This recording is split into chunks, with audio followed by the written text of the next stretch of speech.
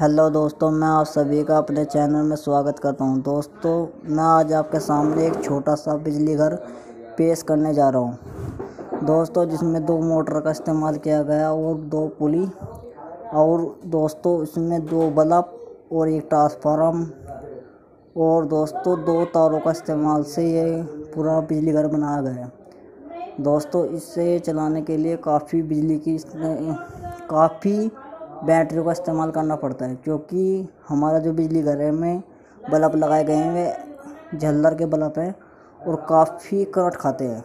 तो इसलिए दोस्तों, उन, उन्हें उठाने के लिए हमें अधिक करंट की ज़रूरत पड़ती है। दोस्तों, आप भी इसे बना सकते हैं, बनाने में बहुत ही आसान है। आप सभी का मेरे चैनल में स्वागत है। थैंक यू दोस्तों।